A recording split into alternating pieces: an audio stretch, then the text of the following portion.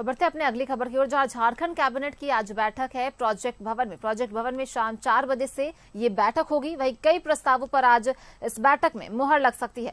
शाम चार बजे कैबिनेट की बैठक प्रोजेक्ट भवन में होनी है, जिसमें कई प्रस्तावों पर सीएम चंपाई सोरेन जो है वो मुहर लगा सकते हैं। आज शाम कैबिनेट की बैठक है प्रोजेक्ट भवन में। चार बजे से ये बैठक शुरू होगी, जहाँ आज कई प्रस्तावों पर मुहर लग सकती है। झारखंड कैबिनेट की बैठक आज शाम चार बजे प्रोजेक्ट भवन में, जहाँ सीएम चंपई सोरेन कई प्रस्तावों पर मुहर लगा सकते हैं।